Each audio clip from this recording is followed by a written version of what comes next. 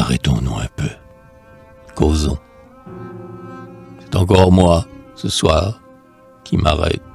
C'est encore vous qui m'écoutez. Un peu plus tard, d'autres joueront, aux voisins sur la route, sous ces beaux arbres que l'on se prête.